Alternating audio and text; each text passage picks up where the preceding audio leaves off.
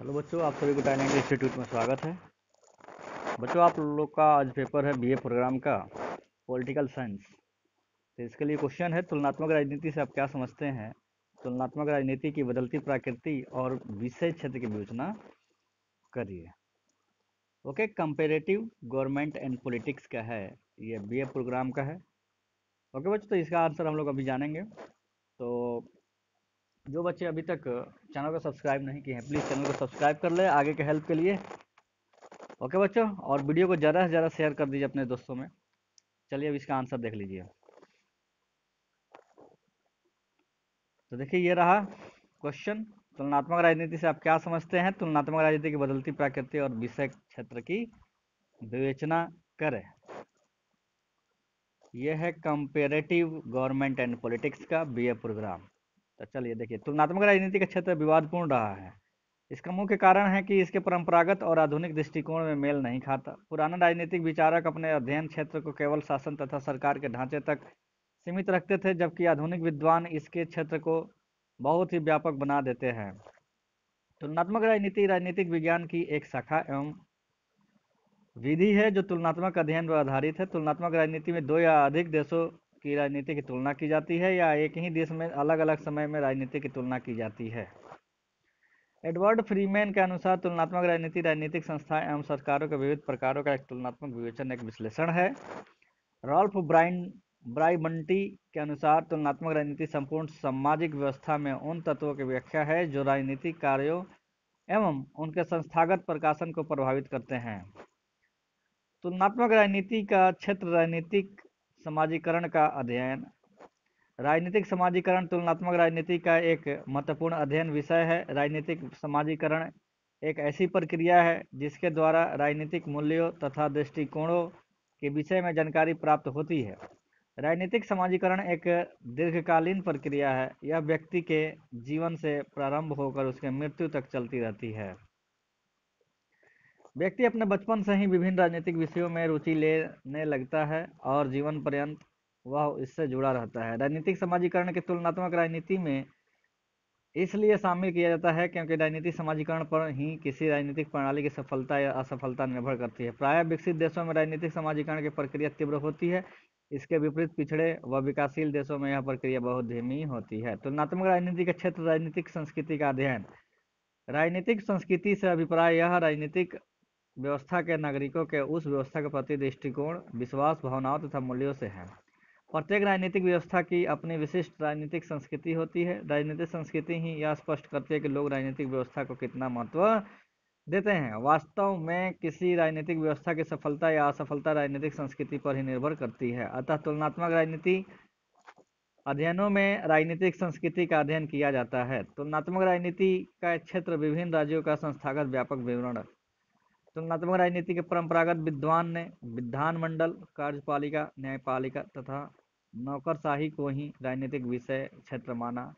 यद्यपि आजकल संस्थाओं के स्थान पर कार्य पद्धति और व्यवहारिक पक्ष पर अधिक बल दिया जाता है, तथापि राजनीतिक संरचना को बिल्कुल छोड़ा नहीं जा सकता। साधारणतः यह माना जाता है कि अंतिम निर्णय लेने की संसद की शक्ति दिन प्रतिदिन कम होती जा रही है और यह शक्ति कार्यपालिका के हाथ में आ गई है। इस प्रकार, इस सरकार के निष्कर्षों पर पहुँचने के लिए आवश्यक है कि हम अधिक से अधिक देशों की कार्यपालिका पर विधानमंडलों का अध्ययन करें। तुलनात्मक राजनीति का क्षेत्र विश्लेषणात्मक तथा अनुभाविक खोज। तुलनात्मक राजनीति में अनुभाविक अध्ययन और अधिक बल दिया जा गया है। इसके अंतर्गत राजनीतिक संस्थाओं, उनकी संरचनाओं की अपेक्षा, इसके क्रियाशील कार्यकर्ताओं अथवा तत्वों के व्यवहार का अध्ययन होता है। तुलनात्मक राजनीति का क्षेत्र, राजनीतिक दल तथा हित समूह। आधुनिक युग लोकतंत्र का युग है और लोकतंत्र में दलों का अनिवार्य है। प्रायः सभी देशों में राजनीतिक दल पाए जाते हैं। अमेरिका, ग्रेट ब्रिटेन, ऑस्ट्रेलिया और जर्मनी में द्विदलीय प्रणाली पाई जाती है, जबकि फ्रांस, इटली, नॉर्वे, भारत इत्यादि देशों में बहुदलीय पद्धति पाई जाती है।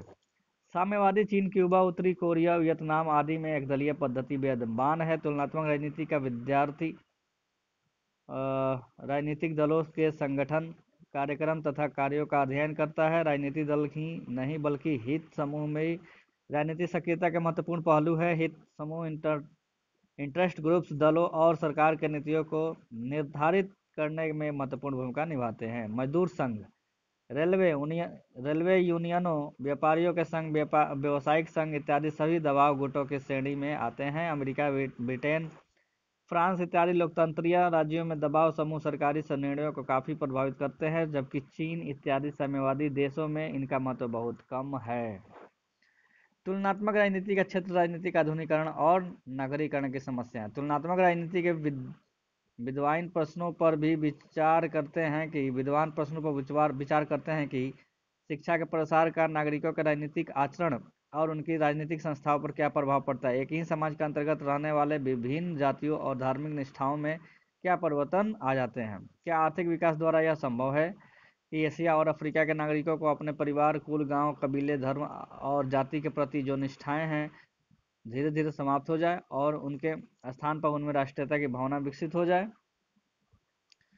तुलनात्मक राजनीति के क्षेत्र विकासशील समाजों का अध्ययन। तुलनात्मक राजनीति में न केवल विकसित पश्चिमी देशों की शासन प्रणालियों का अध्ययन किया जाता है, बल्कि इसमें एशिया और अफ्रीका के पिछड़े और विकासशील देशों की शासन प्रणालियों का भी अध्ययन किया जाता है। तुलनात्मक राजनीति के क्षेत्र, राजनीतिक सहभागिता। राजनीतिक सहभागिता से अभिप्राय नागरिकों की राजनीतिक गतिविधियों में भाग लेने से है। सभी राजनीतिक प्रणालियों में राजनीतिक सहभागिता का स्तर एक समान नहीं होता। उदार लोकतांत्रिक राजनीतिक व्यवस्थाओं में नागरिक राजनीतिक गतिविधियों में अधिक भाग लेते हैं। जबकि पिछड़ी हुई तथा सर्वता, सर्वसत्तावादी राजनीतिक व्यवस्था को राजनीतिक भागीदारी से अधिक अवसर नहीं मिलते हैं। वास्तव में राजनीतिक भागीदारी ही किसी व्यवस्था के औचित्य की कसौटी मानी जाती है। तुलनात्मक राजनीति में भागीदारी का महत्व है। तुलनात्मक राजनीति का क्षेत्र राजनीतिक प्रक्रिया। प्रत्येक राजनीतिक प्रणाली में अनेक राजनीतिक प्रक्रियाएँ चलती रहती है। प्रत्येक राजनीतिक व्यवस्था में निर्णय निर्माण की प्रक्रिया, न्यायिक प्रक्रिया इत्यादि, अनेक प्रक्रियाएँ अनवरत रूप में चलती रहती है। इन राजनीतिक प्रक्रियाओं में का राजनीतिक व्यवस्था पर प्रभाव पड़ता है, इसलिए तुलनात्मक राजनीति में राजनीतिक प्रक्रियाओं का अध्ययन किया जाता है। तुलनात्मक राजनीति का क्षेत्र नौकरशाही की भूमिका, नौकरशाही की प्रत्येक राजनीतिक व्यवस्था में अत्यंत महत्वपूर्ण भूमिका होती है। विशेषता, विशेषतया वर्तमान राजनीतिक व्यवस्था में नौकरशाही सरकार या प्रशासन के ऋण की हड्डी बन गई है। यदि आधुनिक युग का नौकरशाही का युग कहा जाए तो गलत न होगा। कल्याणकारी राज्य की धारणा के साथ साथ नौकरशाही की भूमिका भी बढ़ती चली गई है। यही कारण है कि आज चाहे नीति का निर्माण करना हो या क्रियान्वयन करना हो, नौकरशाही सदैव प्रथम रहती है। नौकरशाही के, को सामाजिक आर्थिक परिवर्तन में एक यंत्र के रूप में स्वीकार किया जाता है, इसलिए तुलनात्मक राजनीति में नौकरशाही का अध्ययन किया जाता है। तुलनात्मक राजनीति का महत्व, तुलनात्मक राजनीति का अध्ययन देश विदेश की राजनीतिक व राजनीतिक व्यवहार को समझने में सहायक होता है। तुलनात्मक राजनीति के अध्ययन द्वारा विभिन्न राजनीतिक प्रक्रियाओं की समानताओं और असमानताओं का ज्ञान कराता है। इससे राजनीतिक घटना चक्रों का भी ज्ञान होता है। तुलनात्मक अध्ययन राजनीति अभिजनों को भी महत्वपूर्ण जानकारी देता है। इसी के आधार पर वे राजनीतिक व्यवहार व दृष्टिकोणों की जाँच परख करके उनकी प्रासंगिकता जांचते हैं।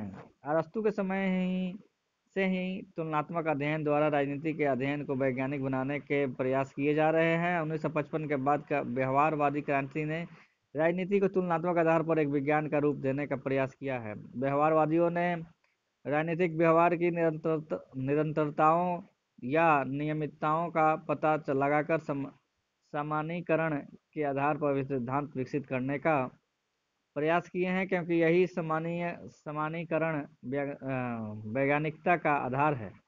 तुलनात्मक अऋणधयन द्वारा राजनीतिक व्यवहार के नियमितताओं का पता चलने से सिद्धांत निर्माण करना आसान हो जाता है। राजनीतिक शास्त्र में ऐसा सिद्धांतों की तलाश की जा रही है जो संपूर्ण विश्व के राजनीतिक व्यवहार को समझने में सहायक हो। तुलनात्मक राजनीतिक अनु अनुभाविक सिद्धांतों तक पहुँचने में सहायक करती है। तुलनात्मक अध्ययन द्वारा राजनीतिक सिद्धांतों का पुनः परीक्षण करके उनकी प्रमाणिकता की जाँच की जा सकती है। प्रचलित सिद्धांतों या अतीत में स्थापित सिद्धांतों को समय समसामयिक प्रासंगिकता की जाँच तुलनात्मक अध्ययन द्वारा ही की जा सकती है। तुलनात्मक राजनीति राजनीतिक सिद्धांतों की जाँच परख के लिए नवीन उपकरण व तकनीक उपलब्ध कराता है। तो यहीं पर समाप्त हो गया बच्चों। तो तुलनात्मक के बारे में कुछ भी अगर पूछता है तुलनात्मक राजनीति या उसके बारे में और कोई रिलेटेड इसके क्वेश्चन आता है तो आप लोग ये लिख सकते हैं इसका आंसर ये आंसर ओके बच्चों तो चलिए फिर मिलते हैं अगले वीडियो में।